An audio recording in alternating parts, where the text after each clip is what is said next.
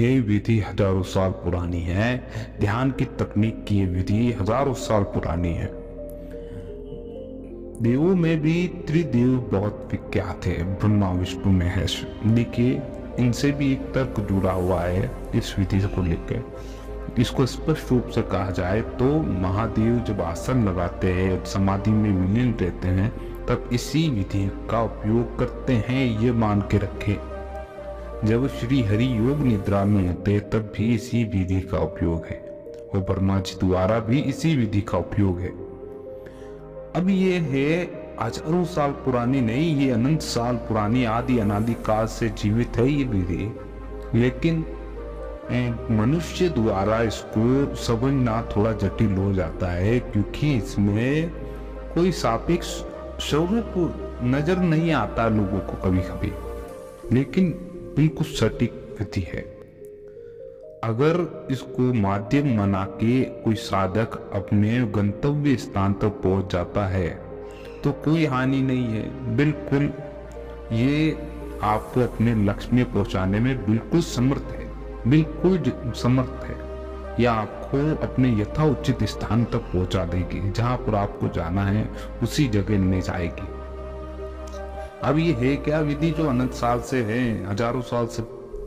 इसका वर्णन है, देखिए, ये होती है मनुष्य के भीतर बैठी श्वासों की माला, जिसको प्राण जाप भी कहा गया है, श्वासों का जाप भी कहा गया है, और अनेकों ऋषियों ने इसका इस्तेमाल किया है, जो कि अनेकों साधनों द्वारा भी होता है, कोई माला के द्वारा करता है, कोई कुछ एक आदि ऐसी चीज़ों का इस्तेमाल करता है जो उसके लिए सहज उपलब्ध हो जाती है।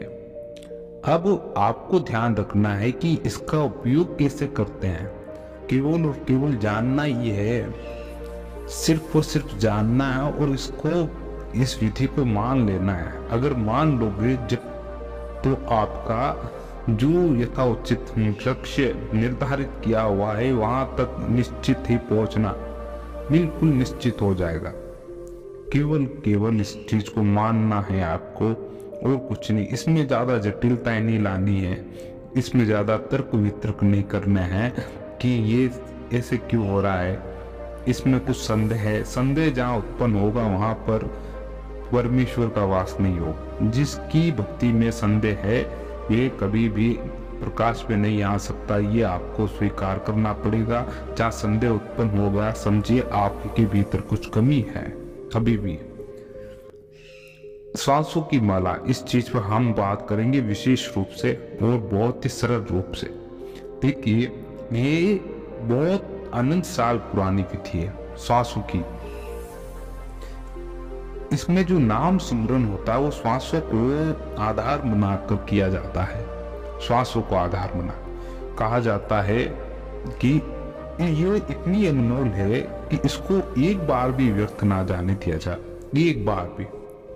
एक बार भी व्यर्थ कैसे? कि इसमें प्रतिपल भगवान का ही सुमरण हुए। और किसी चीज़ का इसमें कोई विचार, कोई बोध इस चीज़ में नहीं होना चाहिए। इसका विरोध किया गया एक बार भी इसमें इस सांस को व्यर्थ जाना नहीं चाहिए। कबीर दास जी ने इसका विशेष रूप से वर्णन किया है नाम जप पे कि श्वासों को आप बिल्कुल व्यर्थ ना करें। जब तक जीवित है श्वासों को इतना जपे, इतना रटे कि आप इस श्वासों में घुल मिल जाए और एक बार भी इसको व्यर्थ ना करें। दूसरी बात, इसको सरल रूप से अगर आपको जानना है, अगर इसको करना है तो यही होता है कि आपका ध्यान बार बार आकर्षित किया जाए आपकी श्वासों पर। बार बार आकर्षित करना पड़ेगा, उस बुद्धि को बार बार उस जगह लगाना पड़ेगा। अब मेडिटेशन में अक्सर किया क्या जाता है। जैसे कि कोई राम का भक्त है, कोई कृष्ण का भक्त है। अब जैसे मान लीजिए बहुत ही बड़ा कृष्ण भक्त है। तो उसकी बुद्धि में केवल कृष्ण की छवि छाई हुई रहेगी। छवि यानी उनका चित्र ही बनता रहेगा। उसके मस्तिष्क के अंदर, उसके विचारों के अंदर उस साधक। तो वो मेडिटेशन में भी केवल उसी खाई स्वरूप ध्यान करते हैं, उसी खाई नाम लेते रहते हैं। अब आपको करना यही है कि आप श्वासों पर का ध्यान जावे। श्वासों पर ध्यान जावे, श्वासों पर ध्यान जावे। तो उसी में उसका रमन है। जो आपके इष्ट है, उसी में उसका रमन है। इतना ध्यान रखे। उसका रमण स्थान ही उसी स्थल में है, कहा गया है कि यह हृदय स्थल है, जहाँ पर वे स्थित है वो प्राणों के द्वारा उसका जाप किया जाता है। उसका नाम, उनके नाम को पकड़ा जाता है। अगर उनके नाम को किसी भी साधक ने पकड़ लिया, बहुत विशेष रूप से।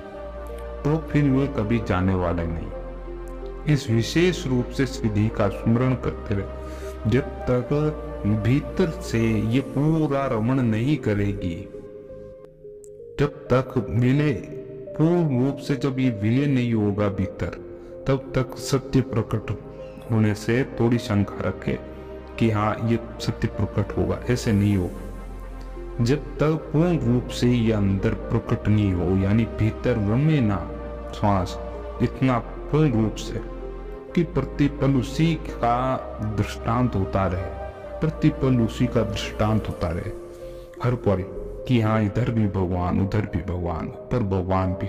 इधर कि प्रभु ने मुझको ऐसे स्थल पर खड़ा किया बीचों बीच में, जहाँ पर मैं चारों तरफ़ उसकी दृष्टि मात्र में हूँ, और चारों तरफ़ उसी का ही प्रसार है।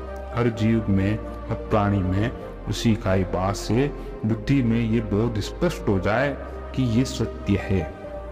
और ये बिल्कुल ही सत्य है कि प्राणी मात्र में इस परमेश्वर का वास है, लेकिन अबोध, अज्ञान के कारण क्या होता है कि प्राणी अपन को मूल तत्व न मानकर जो शारीरिक बोध पर उसने अपनी जो छवि स्थापित करी हुई है अपना रुतबा स्थापित किया हुआ है कि मैं ये पद पर आसीन हूँ, ये हूँ मैं तो ये वो अज्ञान के कारण उसको सत्य मान बैठता है। लेकिन जब यह ज्ञान का पर्दा तब उठता है। कोई कोई इतने ज्ञानी होते हैं कि जब मृत्यु की शैया पर आ जाते हैं, तब भी इसी चीज़ को स्वीकार करते हैं। सोचिए, इसी चीज़ को स्वीकार कर रहे हैं आप। जो कहीं नहीं जाने वाला इस धरा पर ही रहेगा।